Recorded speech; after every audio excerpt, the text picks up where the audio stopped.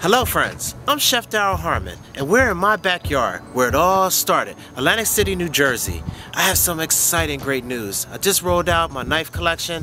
We have spices on the way, cooking apparel, and also we're featuring recipes, grilling outdoors with Chef Harmon. Be on the lookout folks.